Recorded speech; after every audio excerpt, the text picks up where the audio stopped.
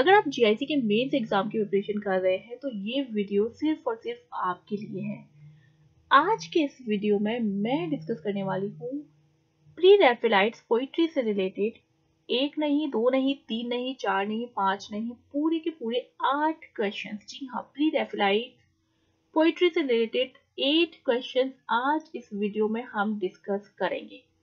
तो चलिए शुरू करते हैं हमारा ये वीडियो एंड देखते हैं हमारा question number one what is a fleshly school of poetry देखिए प्री रेफिलाइट्स को अगर आप कवर कर रहे हैं तो फ्लैशली स्कूल ऑफ़ पोइट्री एक बहुत इंपॉर्टेंट पॉइंट है। देखिए फ्लैशली स्कूल ऑफ़ पोइट्री जो था, ये क्या था? ये एक ऐसे था write the fleshly school of poetry was a fierce attack on the pre Raphaelite it was an essay written in 1871 by Robert Buchanan under the pseudonym Thomas Maitland. देखिए रॉबर्ट बुकैनन नाम के एक पर्सन थे, एक writer थे, जिन्होंने 1871 में एक ऐसे लिखा जिसका टाइटल उन्होंने रखा the fleshly school of poetry इस ऐसे को लिखने का जो ऑब्जेक्टिव था, वो था प्री रेफलाइट ग्रुप के जो आर्टिस्ट हैं, उनके ऊपर अटैक करना अपनी राइटिंग के थ्रू अब इस ऐसे में उन्होंने अपना रियल नेम यूज़ नहीं किया था, इन्होंने एक सिडोनियम यूज़ किया था टॉमस मेटलैंड टॉमस मेटलैंड के नाम से ये ऐसे पब्लिश हुआ था in the contemporary review contemporary review में ऐसे पब्लिश हुआ।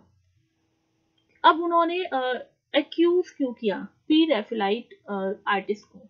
क्योंकि रॉबर्ट बुकैनन मानते थे कि प्री रेफिलाइट जो आर्ट है ये बहुत ज़्यादा सेंसुअल है हाईली सेक्सुअल है और ये एक सोर्स हो सकती है for moral corruption moral corruption का सोर्स बन सकती है ये फॉर द पीपल तो उनको लगता था कि इनकी जो पोइट्री uh, है इनकी जो आर्ट है दैट इज़ रबिश तो काफ़ी उन्होंने अटैक किया उनको और ये the fleshly school of poetry आपको अच्छे से क्लियर हो गया होगा, ये एक ऐसे है रॉबर्ट बुकैनन के द्वारा लिखा हुआ।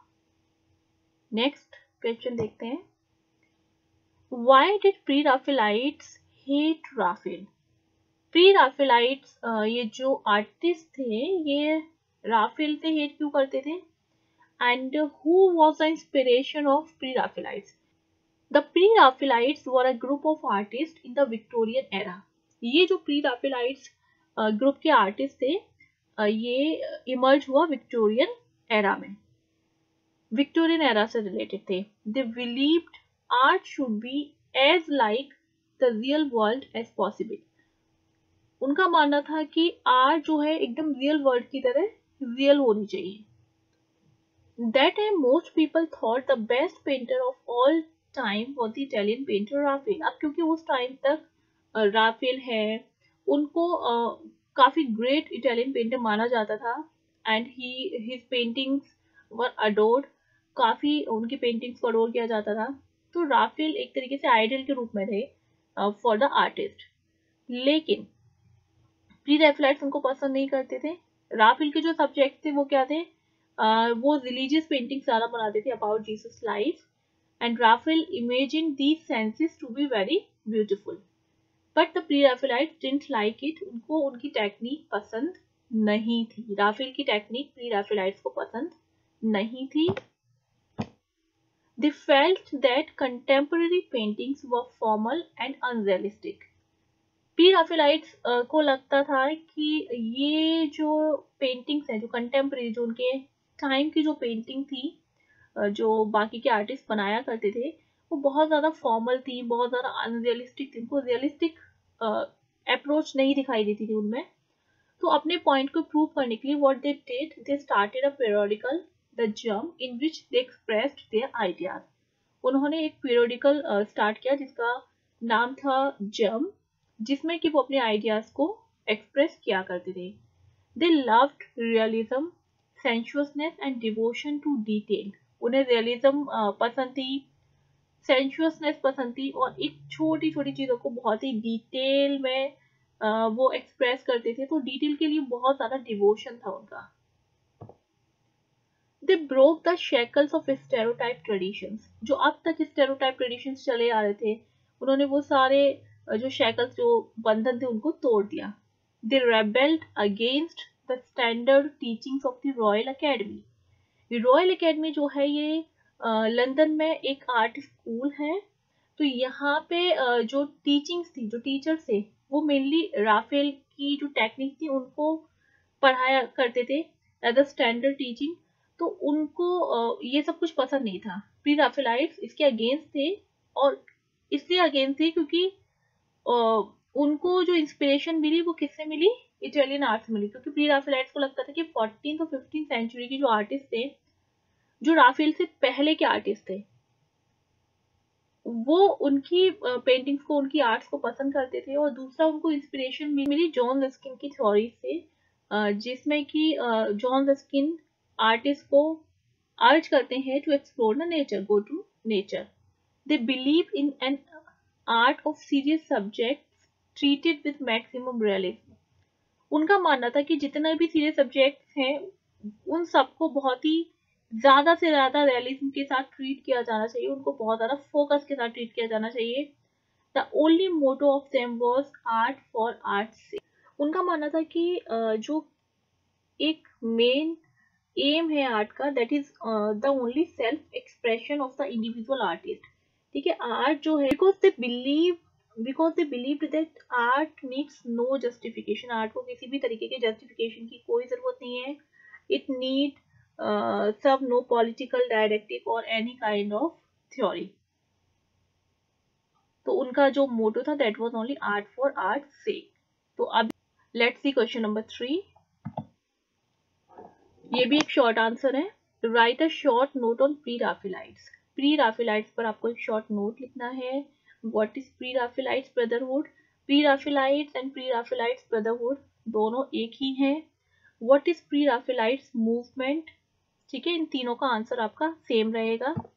Let's see the pre Raphaelites group was formed in 1848 by three Royal Academy students 1848 में ये ग्रुप फॉर्म हुआ था। विक्टोरियन एरा का टाइम था ठीक है। और यहाँ पे ये DG Rossetti William Holman Hunt and John Everett Millais इन्होंने इसको 1848 में फॉर्म किया और ये तीनों कहाँ से एसोसिएटेड थे? ये तीनों रॉयल एकेडमी के स्टूडेंट्स थे, जो लंदन का आर्ट स्कूल है, वहाँ के ये स्टूडेंट्स थे। बाद में इस ग्रुप को ज्वाइन किया later it was join by William Michael Rossetti William Michael Rossetti जो है, ये डीजी रोसेटी के ब्रदर थे James Collinson Frederic George Stephens and Thomas Woolner इन सबने इसको ज्वाइन किया तो टोटल कितने मेंबर्स हो गए? सेवन मेंबर्स हो गए एंड फिर उसमें बाद में उन्होंने ब्रदरहुड पी रेफलाइट के साथ ब्रदरहुड ये वर्ड भी जोड़ दिया। It was a group of English painters poets and art critics तो ये जो सेवन मेंबर्स थे, इनमें कोई पेंटर था पोइट्स थे और आर्ट क्रिटिक्स थे।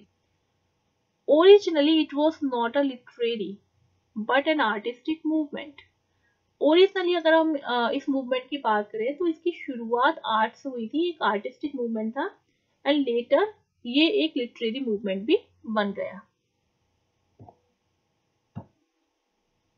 Their main objective was to purify the art of that time अब ये जो थ्री स्टूडेंट थे, जो मैंने आपको फ़र्स्ट लाइन बताया तो उनका मेन ऑब्जेक्टिव तो उनका मेन ऑब्जेक्टिव क्या था? उनका मेन ऑब्जेक्टिव था कि उस टाइम पे उनकी जो आर्ट जो कंटेम्प्रेरी राइटर्स पेंटिंग कर रहे थे, जो आर्टिस्टिक कंट्रीब्यूशन कर रहे थे वो, उसको वो प्यूरिफाई करना चाहते थे। They felt that contemporary paintings वो फॉर्मल एंड अनरियलिस्टिक उनको लगता था कि ये जो पेंटिंग्स हैं, ये कैसी हैं, ये फॉर्मल है और अनरियलिस्टिक है।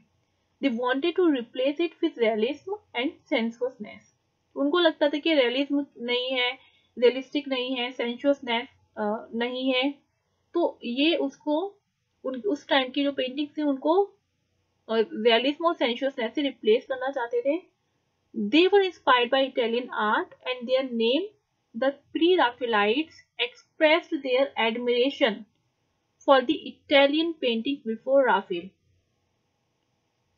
ये ग्रुप जो था, ये इटालियन आर्ट से इंस्पायर्ड था और उनका जो नेम है द प्री राफेलाइट्स प्री का मतलब होता है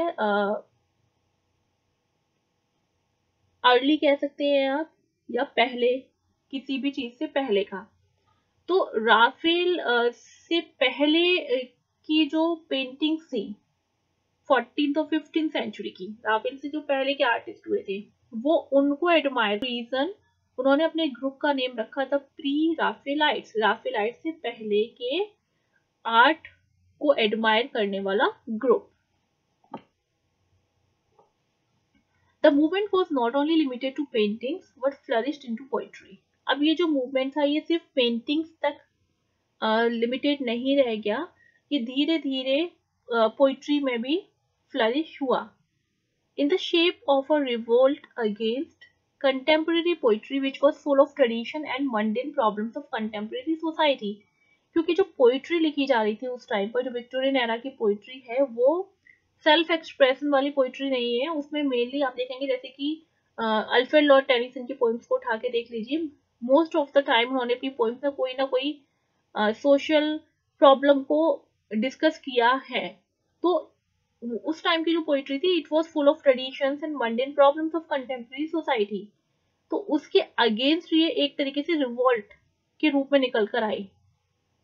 Raphaelites poetry later the group was divided into two बाद में क्या हुआ? ये जो ग्रुप था, ये टू पार्ट्स में डिवाइड हो गया. The realist and the medievalist the realist were led by Hunt and John Millais while the medievalists were led by D.G. Rossetti. ठीक है तो इस let's see the next questions ये लॉन्ग आंसर टाइप क्वेश्चंस हैं. describe the impact of pre Raphaelite movement on poetry pre Raphaelite movement का poetry पर क्या impact था and the second one is what are the main characteristics of pre Raphaelite poetry in literature pre Raphaelite poetry की characteristics uh, क्या है let's see the answer The pre-Raphaelite movement was a rebirth of Romanticism and reaction against Victorianism ये जो pre Raphaelite movement था, ये एक rebirth था romanticism का. वाई क्योंकि रोमांटिक राइटर्स थे they also adored Italian art and Italian poetry Italian paintings everything same as जो प्री राफेलाइट ग्रुप के मेंबर्स थे they also adore fourteen and fifteen century Italian art तो ये एक रीबर्थ था रोमांटिसिज्म का और रिएक्शन था अगेंस्ट विक्टोरियनिज्म विक्टोरियन टाइम की जो मंडेन आर्ट थी, जो मंडेन पोइट्री थी, उसके अगेंस्ट एक रिएक्शन था. It was an idealist movement against the materialism and didacticism क्योंकि विक्टोरियन जो पोइट्री थी, वो मेटेरियलिस्टिक थी डायरेक्टिसिज्म था उसमें, और ये जो प्री रेफिलाइट मूवमेंट था, ये एक आइडलिस्ट मूवमेंट था.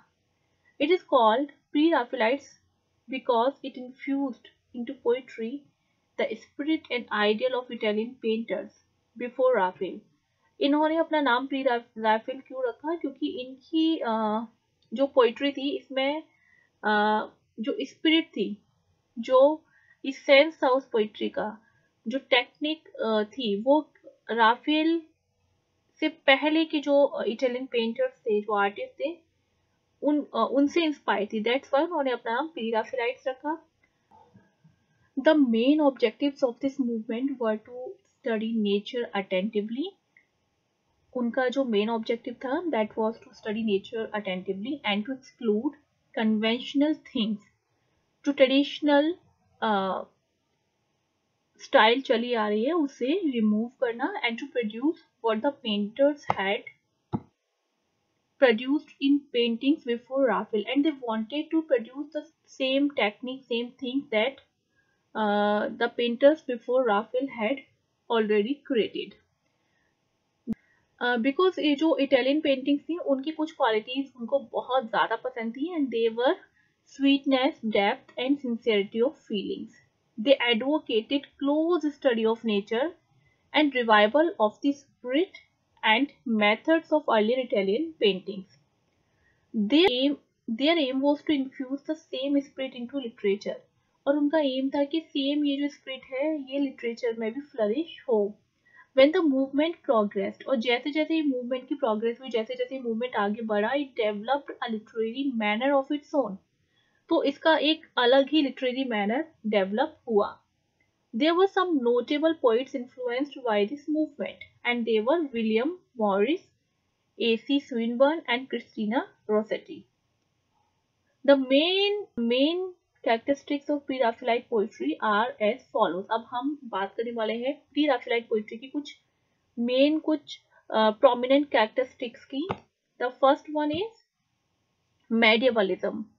They were influenced by Middle Ages like the poets of Romantic age and they were inspired by romance, chivalry and superstitions of the middle pre Raphaelite poetry पर middle ages का influence बहुत ज़्यादा था next है art for art से the art was everything for them उनके लिए art ही सब कुछ थी. They were they were free from morality and didactic purpose उनको ये नहीं था कि उनकी पोइट्री के थ्रू उन्हें कोई मोरल लेसन देना है कुछ डायरेक्टिक पर्पस है उनकी पोइट्री का. uh, उनको केवल ये था कि सेल्फ एक्सप्रेशन हो पोइट uh, का और आर्ट उनके लिए सबसे ज़्यादा इंपॉर्टेंट थी. They had no morality to preach and no reform to introduce through the medium of their poetry they intended to create beauty for its own sake उनका जो मेन पर्पज था it was only to create beauty and D G Rossetti sonnet in the House of Life proves it next है vivid visual presentation pre Raphaelite poetry was strongly pictorial pre Raphaelite poetry थी highly pictorial थी uh, जो poet थे वो अपनी poems में एक image create कर देते थे, क्योंकि बहुत ही छोटी छोटी माइन्यूट जो डिटेल थी, उनको बहुत ही ज़्यादा ध्यान दिया जाता था। हर चीज़ को ऐसे एक्सप्रेस और डिस्क्राइब किया जाता था, जैसे कि आपकी आपको लगे जैसे कि आप कोई पोइम नहीं पढ़ रहे हैं, बल्कि कोई एक विजुअल इमेज आपके सामने है।